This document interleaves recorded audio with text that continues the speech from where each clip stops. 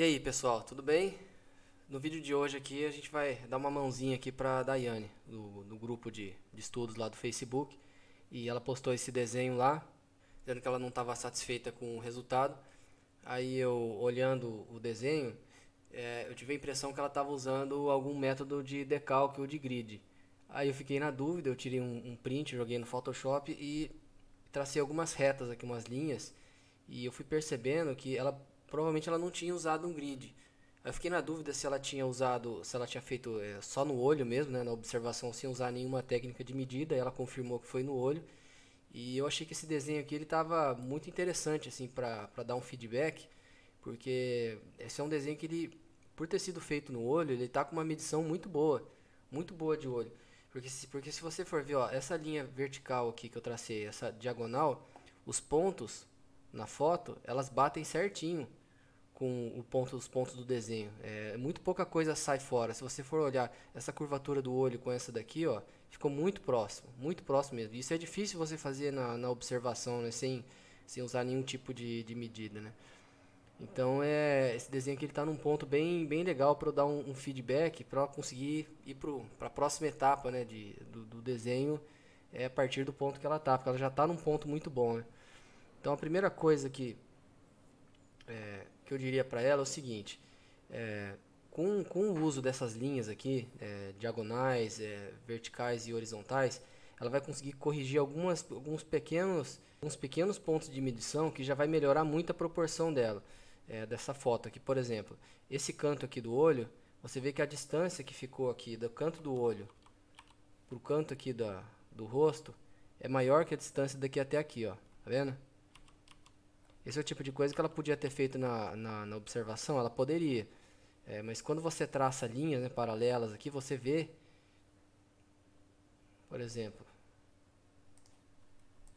se eu traçar uma linha vertical aqui nesse canto do olho e traçar uma outra aqui no canto do olho, você vai ver que a, o perfil que sobra aqui, ó, esse triângulo que sobra aqui é muito menor do que esse daqui.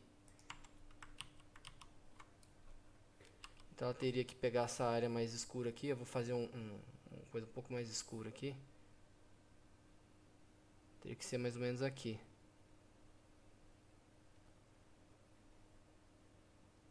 E aqui tem uma leve entradinha aqui na, na bochecha dela.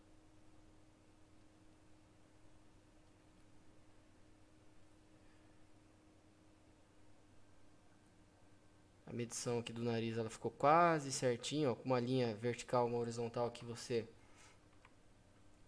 já conseguiria pegar esse perfil que sobrou aqui, ó, de forma um pouco mais apurada. Em vez de fazer essa curvatura para dentro, isso aqui é muito fácil de, de quando a gente está fazendo no olho, quando a gente não tem linha de referência, isso é muito fácil de, de se perder nisso aqui. Essa linha vertical da boca aqui. Mostra que essa linha, isso aqui, essa parte também é muito fácil de se perder. Ó, você vê que a curvatura aqui da, do lábio aqui, ela tá bem no centro aqui da, da referência da imagem.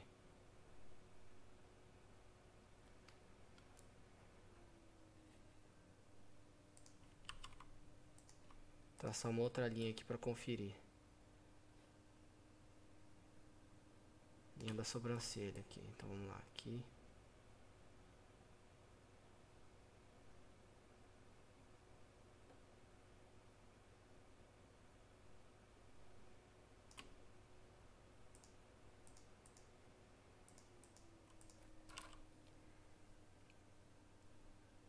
Quer dizer que o canto da boca vem mais ou menos até aqui.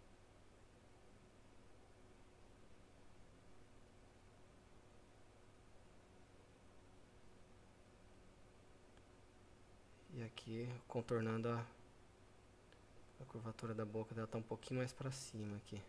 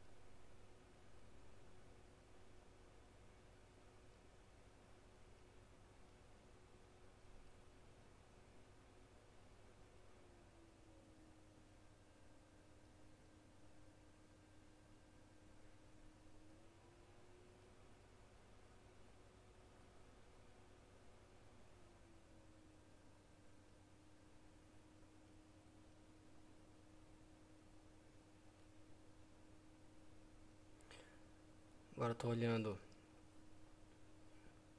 essa linha aqui no, no nariz e comparando a triangulação que fica dentro dessas áreas aqui.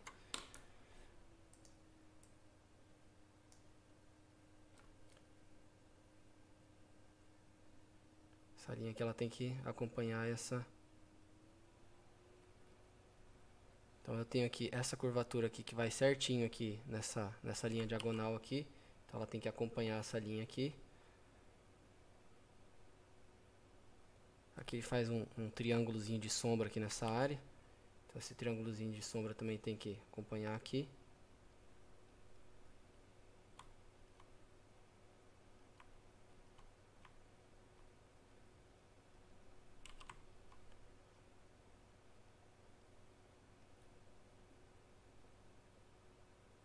Agora esse aqui a gente vai precisar refazer para encaixar aqui nessa, nessa referência que a gente tem.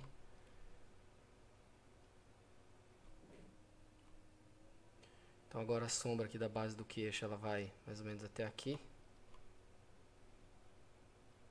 Eu estou comparando aqui ó, esse perfilzinho que sobra aqui.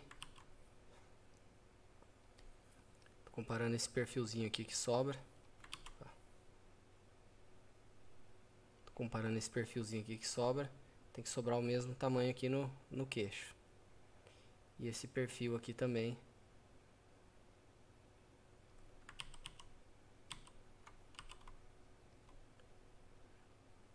Vou fazendo o queixo aqui, acompanhando essa curvatura aqui, procurando observar esse perfil aqui também, se ele se ele está de acordo. Aqui eu vejo que ele tem uma entrada aqui. Essa entrada tem que ser mais ou menos aqui também. E ele segue mais ou menos até a base da orelha dela. Aqui tem o brinco. Aqui eu vou apagar essa, essa ponta aqui. Uma coisa interessante aqui no olho é que se você olhar o olho sem a, aquela preconcepção de que você está enxergando um olho e você olhar aquilo só como é, massas de valor tonal, você vê que você não consegue praticamente enxergar os cílios dela aqui, ó. Se a gente der zoom aqui, ó, você vai ver o que, que a gente enxerga aqui. A gente está enxergando aqui basicamente isso aqui, ó.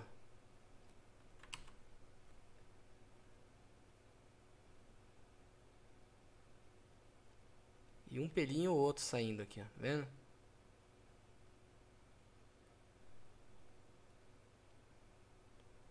Tá uma sombra graduada aqui e tal. Isso aqui é o que a gente está vendo. A gente não está vendo isso aqui, ó. Isso aqui é um signo. Isso aqui é uma representação de massa de valor tonal desse, desse, desse olho aqui. Então o que a gente vai fazer? A gente vai tentar corrigir. Então o que a gente vai fazer? A gente vai voltar aqui e vai corrigir baseado no que tem aqui na referência, não como que deve ser o olho. E também a gente vai procurar manter essa curvatura aqui. É, eu acho que você fez um ótimo trabalho aqui de é, de alinhamento do olho, porque quando a cabeça está inclinada e a gente faz tudo no olho, é, é, fácil também a gente desalinhar essa, essa a, a glândula lacrimal aqui do olho e essa base aqui. É, essa curvatura aqui da cabeça, ela é fácil de se perder quando a, tá, a cabeça está inclinada e a gente não está usando nenhum é, método de medição. Então o que a gente vai fazer? A gente vai começar aqui a ajustar o olho.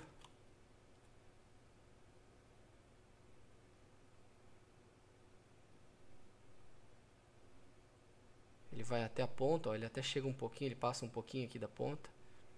Essa parte aqui ela tá com uma massa é, de cílios e, e, e rímel, né, e maquiagem bem, bem densa aqui. E aí ele tem um perfil aqui dentro do olho, dentro dessa, dessa medição que eu vou ter que preservar. Que é essa, essa área aqui, ó.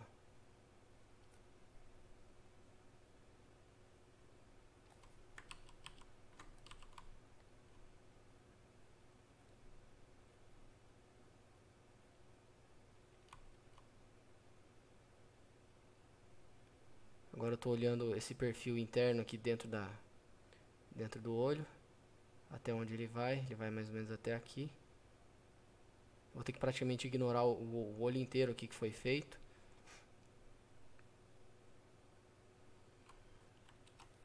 Chegar mais perto aqui fazer um...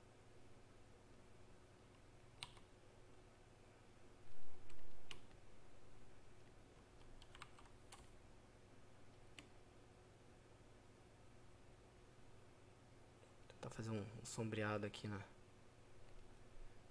Esse pincel é a mesma coisa do lápis, eu vou ter que apagar isso aqui, esses cílios aqui, porque eu não, não tô vendo nenhum desses cílios ali.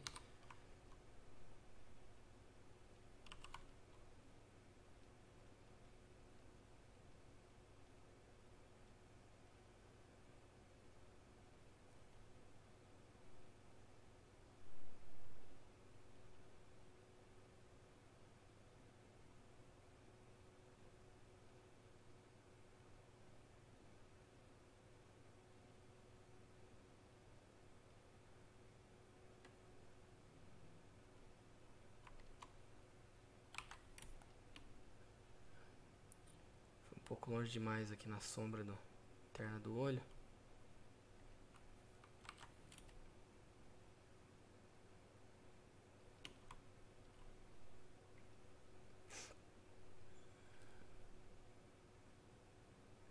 E agora a mesma coisa aqui na parte de baixo. Na parte de baixo então eu tenho essa sobrancelha que ela começa aqui nessa linha e vai mais ou menos até aqui.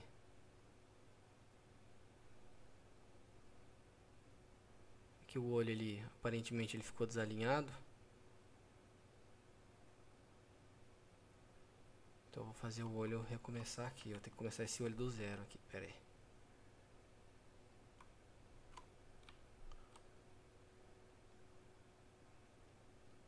Eu tenho que preservar esse espaço aqui. Esse espaço daqui até aqui. Tentar pegar esse perfil que faz essa curva aqui seria algo mais ou menos assim. E depois esse aqui. Dá uma conferida aqui a distância daqui, daqui. E depois a gente vai para a testa. Então vamos pegar esse perfil aqui, separar a distância daqui. E vai dessa ponta até aqui mais ou menos.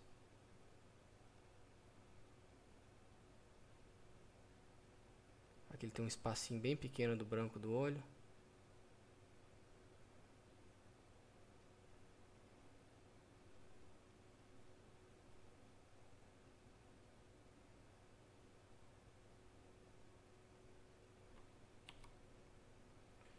com opacidade aqui de 50, 60%, fazer uma sombra um pouco mais mais pesada aqui que é o valor tonal que eu estou enxergando aqui.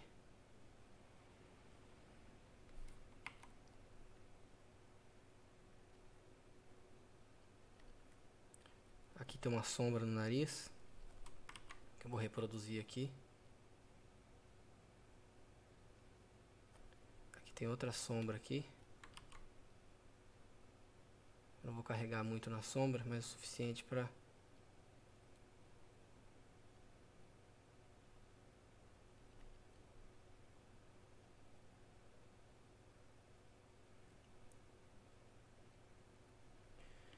Agora aqui a região da testa. Você vê que esse perfil aqui ele já ficou bem desalinhado ó, do cabelo.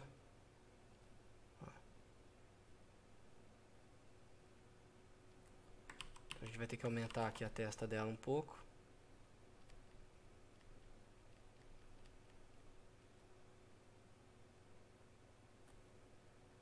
Ver uma distância horizontal aqui. Então a testa ela tem que subir até aqui. Praticamente uma linha reta, quase diagonal.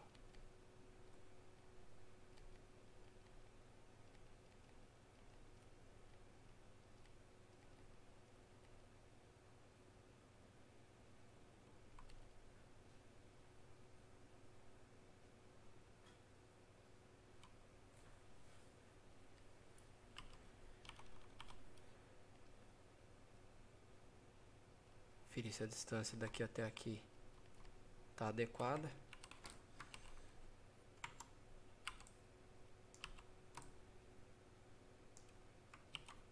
Ficou um pouco fora. Então eu vou ter que corrigir aqui.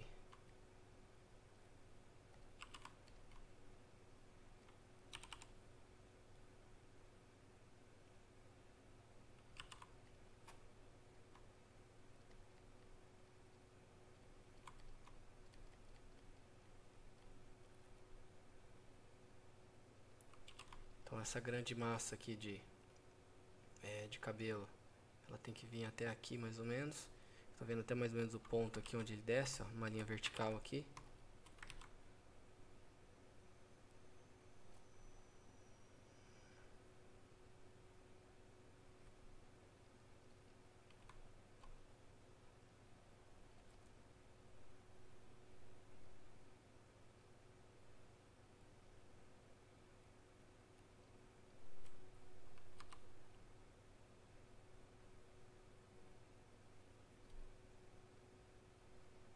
Aqui finalmente a orelha ser redesenhada aqui.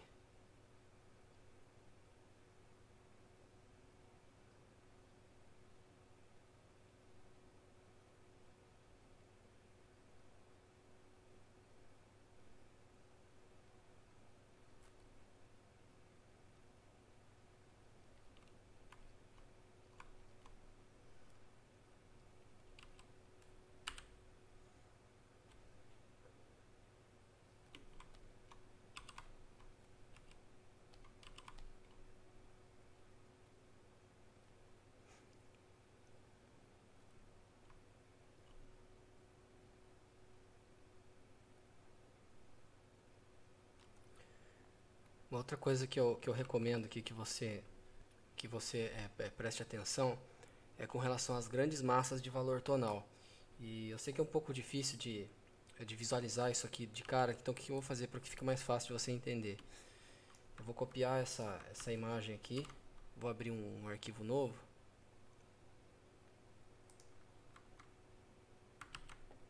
E vou transformar isso aqui em, em tons de cinza e vou fazer um aplicar um filtro aqui.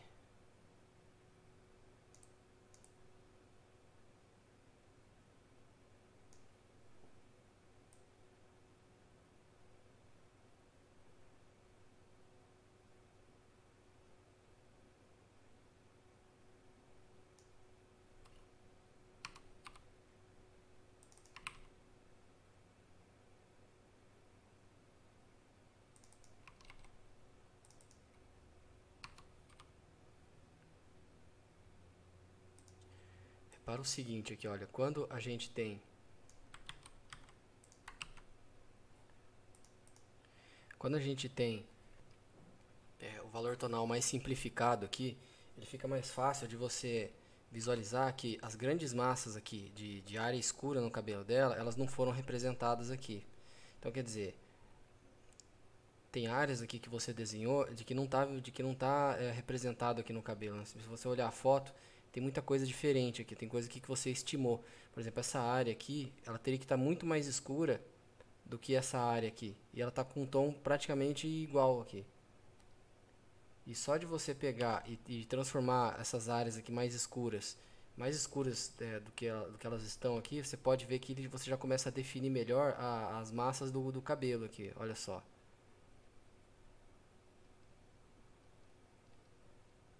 Aqui tem uma outra grande massa aqui.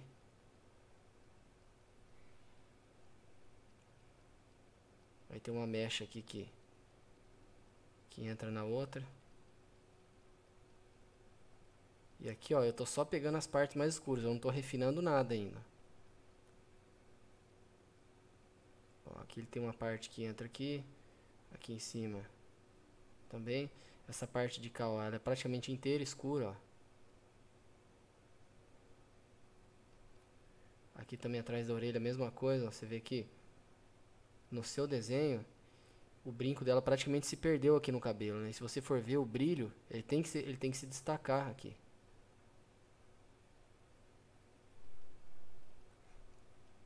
O pescoço aqui, a, a, essa gargantilha aqui que ela tá usando é a mesma coisa. A blusa também. Então, ó, eu vou usar agora um tom intermediário aqui, vou baixar a opacidade aqui para 60%.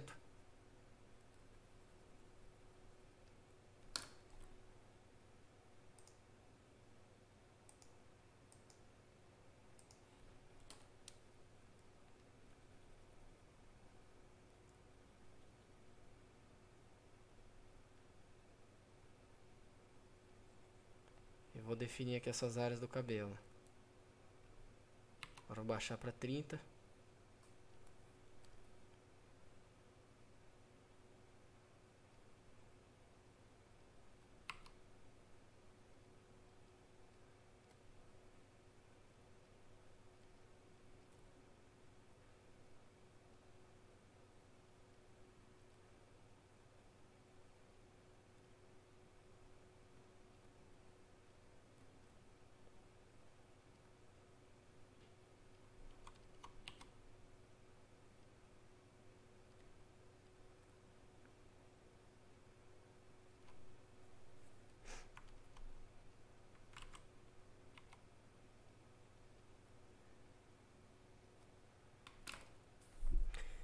Bom, então é isso aí.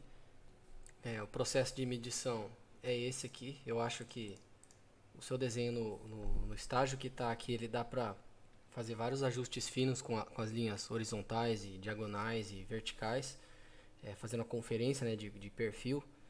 Gastei aí mais ou menos uns 30 minutos no, no, no desenho como um todo, mas se você gastar aí uma hora e meia por aí fazendo uma conferência bem detalhadinha, é, você consegue fazer é, o desenho ficar praticamente idêntico, né? ainda mais que pelo, pelo que, eu, que eu vi aqui, você fez o desenho praticamente na escala 1 para 1 aqui, né? É, então nesse caso aí o, o, método de medição do site size ele, ele funciona muito bem, né? que é o método clássico aí do, dos academicistas para transpor um objeto para o papel, né? para fazer o processo de medição. Então é isso aí, espero que tenha sido útil aí pro, pro pessoal aí. É, quem não for inscrito aí já clica no botão de, de se inscrever para não perder a notificação do, dos próximos vídeos. E até a próxima.